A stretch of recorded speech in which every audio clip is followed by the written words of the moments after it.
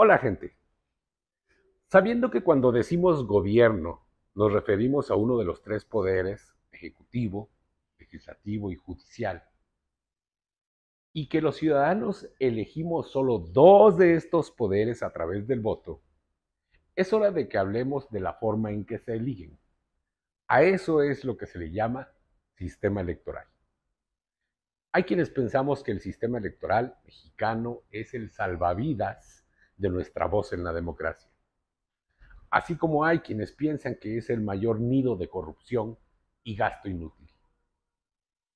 Sea cual sea la posición que tengamos en este momento, hagamos una pausa para entender que por su finalidad, es decir, la decisión de quiénes serán nuestros representantes en los dos poderes a nivel federal y estatal, y quiénes serán nuestras autoridades municipales, el sistema electoral se convierte en el tesoro que todos los involucrados quisieran controlar. Para los jóvenes resultará algo novedoso, para los que no somos tanto. Sabemos que en México ya vivimos los tiempos en los que el gobierno organizaba las elecciones, hasta llevar a la población no solo a la apatía hacia la democracia, sino a la repulsión de cualquier forma de participación cívica. Fueron casi 70 años en que quien gobernaba elegía con anticipación a sus sucesores, convirtiendo a las elecciones en una mera formalidad, en la que de una u otra forma solo se confirmaba la designación que todos ya sabíamos. Era tanto el desinterés provocado en la gente por las votaciones que llegamos al absurdo de una elección presidencial con un solo candidato. Nuevamente fue la presión de la oposición y la comunidad internacional que provocaron modificaciones trascendentales en la Constitución, garantizando de alguna manera que se compitiera en condiciones, si no equitativas, por lo menos sí con la probabilidad real de hacer llegar a la gente quiénes eran los actores que participaban, con una posibilidad real de competir. De ahí surgió el INE en 1990, entonces IFE, que alcanzó su autonomía hasta 1996, cuando se sacó de su integración a la representación del gobierno. Y tan solo cuatro años después de alcanzar su autonomía, en México tuvimos una elección presidencial en la que ganó un partido distinto. Ahí la elección.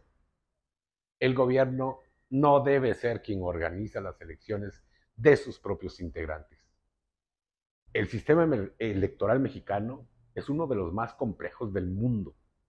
Ojo, no estoy diciendo que sea el mejor o el más completo, pero sí de los más complejos.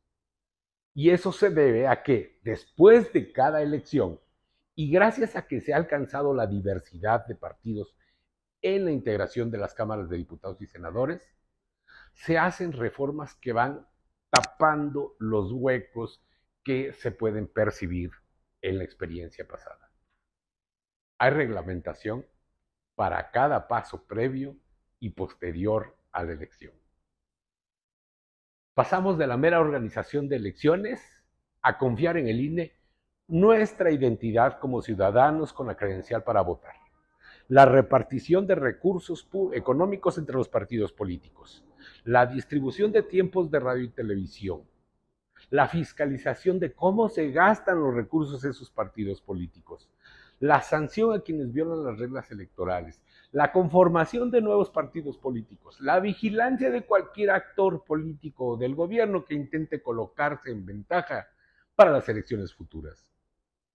Esas reformas impulsadas por todos los partidos políticos han hecho del, INE, hoy INE, un organismo costoso, pero valioso. ¿Se imaginan quién no querría controlar todas esas funciones? Comprendemos ahora por qué resulta ser el tesoro que todos quisieran poseer. La apuesta en desacreditar al árbitro no nos va a conseguir que vayamos a errores pasados, pero aleja a la gente de las ganas de participar, de hablar, de saber, Nuestra democracia es cara, sí, muy cara, pero es debido a que las reglas así lo han hecho. Las reglas encarecen el proceso electoral y encarecen, por tanto, la operación del INE.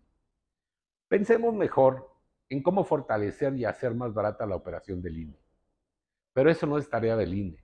Recordemos que las reglas que opera las pone el gobierno a través de las leyes que les da para trabajar. Soy Air García, nos vemos la próxima. Gracias.